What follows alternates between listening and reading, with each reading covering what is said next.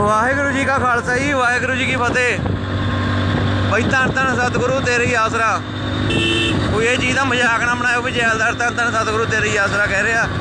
ਬਈ ਮੇਰੀ ਜਿਹੜਾ ਮਦਦ ਕਰੂਗਾ, ਮੈਨੂੰ ਤਾਂ ਮਦਦ ਦੀ ਲੋੜ ਸੀਗੀ। ਮੇਰੀ ਮਦਦ ਕਰੀਆ, ਡੇਰਾ ਸੱਚਾ ਸੌਦੇ ਵਾਲੇ, ਮਤਲਬ ਕਿ ਭਗਤਾਂ ਨੇ।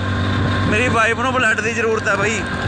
ਮੇਰੀ ਵਾਈਫ ਦਾਖਲਾ ਆਪਣਾ ਮਾਤਾ ਕੇ ਚੱਲਿਆ ਹਸਪਤਾਲ 'ਚ ਪਟਿਆਲੇ। ਕਿਸੇ ਨੇ ਮੇਰੀ ਬਾਂਹ ਨਹੀਂ ਫੜੀਗੀ ਮੈਂ ਕਈ ਕਮੇਟੀਆਂ ਨੂੰ ਕਿਹਾ, ਗੁਰਦੁਆਰੇ ਨੂੰ ਕਿਸੇ ਨੇ ਮੇਰੀ ਗੱਲ ਨਹੀਂ ਸੁਣੀ ਹੈਗੀ। ਨਾ ਮੇਰੇ ਕੋਲੇ ਪੈਸੇ ਸੀਗੇ, ਮੈਂ ਕੋਈ ਆਮ ਆਮ ਇਨਸਾਨ ਤਾਂ ਸਾਰੇ ਹੀ ਨਿਜ਼ਾਮ ਹੀ ਹੁੰਦੇ ਆ, ਪਰ ਮੈਂ ਉਹ ਪਰਿਵਾਰ ਦੇ ਵਿੱਚੋਂ ਆ, ਜਿਹਦੇ ਵਿੱਚ ਮੇਰੇ ਪਾ- ਬਾਪ ਨੇ ਸ਼ਹੀਦੀ ਦਿੱਤੀ ਆ ਕੌਮ ਲਈ। ਪਰ ਅੱਜ ਉਹ ਕੌਮ ਮੇਰੀ ਮੇਰੀ ਗੱਲ ਨਹੀਂ ਸੁਣ ਰਹੀ ਹੈਗੀ।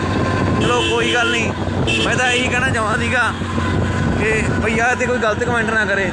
ਜਿਹੜੇ ਦੋਸਤ ਸਾਰੀ ਚੀਜ਼ਾਂ ਤੋਂ ਉੱਪਰ ਉੱਠ ਕੇ ਇਨਸਾਨੀਅਤ ਨੂੰ ਉੱਪਰ ਮੰਨਦੇ ਨੇ, ਉਹ ਜ਼ਰੂਰ ਬੇਸ਼ੱਕ ਧੰਨ ਧੰਨ ਸਤਿਗੁਰੂ ਤੇਰੇ ਹੀ ਆਸਰਾ ਦਾ ਕਮੈਂਟ ਕਰ ਸਕਦੇ ਨੇ ਵਿੱਚ। ਬਾਕੀ ਬਈ, ਆਪਣੀ ਆਪਣੀ ਸੋਚ ਆ, ਮੇਰੀ ਵੀ ਹੈਲਪ ਕਰੀਆ, ਮੇਰੀ ਮਦਦ ਕਰੀਆ, ਬਹੁਤ ਵੱਡੀ ਮਦਦ ਕਰੀਆ। ਕਿਉਂਕਿ ਅੱਜ ਮੈਂ ਇੱਥੇ ਹਾਂ ਜਿੱਥੇ ਮੇਰੇ ਨਾਲ ਕੋਈ ਨਹੀਂ ਕਰਨ ਵਾਲਾ ਸੀ, ਜਿੱਥੇ ਮੈਨੂੰ ਸਾਰੇ ਸਾਥ ਛੱਡ ਕੇ ਦੀਏ ਤੇ ਬਈ ਸਰਸੇ ਵਾਲੇ ਨੇ ਸਾਥ ਦਿੱਤਾ ਮੇਰਾ।